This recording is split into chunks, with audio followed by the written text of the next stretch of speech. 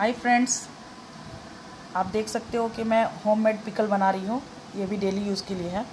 इसके लिए मैंने रेडिस लिया है, जिसमें इसका लीप भी उतना अच्छा नहीं है।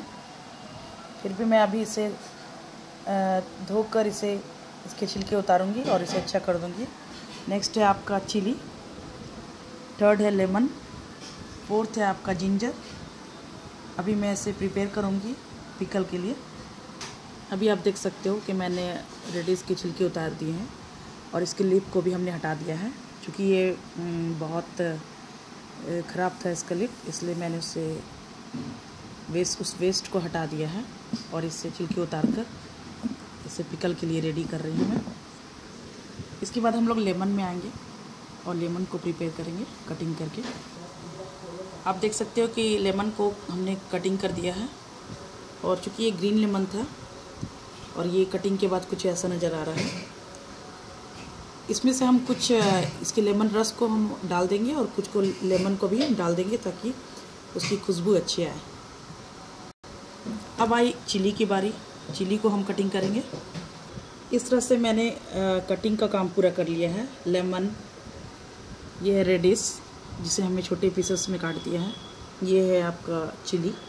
अब आप बोलोगे कि ये चिली को कैसे कटिंग किया है तो मैं ये बता दूँ कि इसे पूरी तरह से काटने की ज़रूरत नहीं है। इसमें केवल थोड़ा सा चीरा लगा देना है, इसको इस तरह से, ताकि उसमें ये लेमन जूस चला जाए ईज़िली और लास्टली हम लोग जिंजर का काम कंप्लीट करेंगे।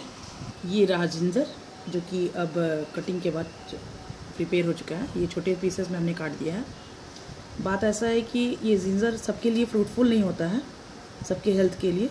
इसीलिए इसे, इसकी क्वांटिटी हमने थोड़ा सा कम ही दिया है। अब हम सभी चीज़ों को लेकर एक बाउल में डालेंगे। ये हमने बॉल दिया, डाला और इसमें सबसे पहले हमने जिंजर डाल दिया लेमन ये आपका रेडिस ये है chilli salt according to taste ये बनकर रेडी हो गया। लेकिन लास्ट में हम इसमें लेमन का रस भी डालेंगे। ये है लेमन रस।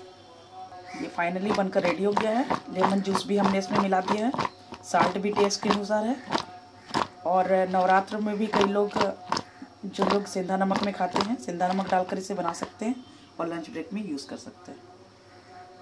लंच में यूज़ कर सकते हैं।